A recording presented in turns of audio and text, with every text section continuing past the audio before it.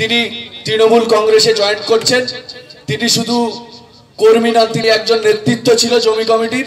আমরা সাদরে আমাদের তৃণমূল কংগ্রেসের নেতা, আমাদের সকলের প্রিয় নেতা মাননীয় আরাবুল ইসলাম মহাশয় তানার হাতে ফ্ল্যাগ তুলে দিচ্ছেন।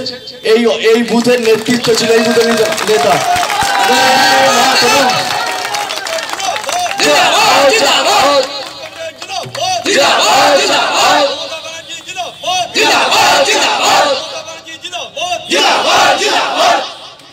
আপনারা জানেন পিছন থেকে একটা দল এসছে আপনারা সব বুঝতে পেরেছেন এই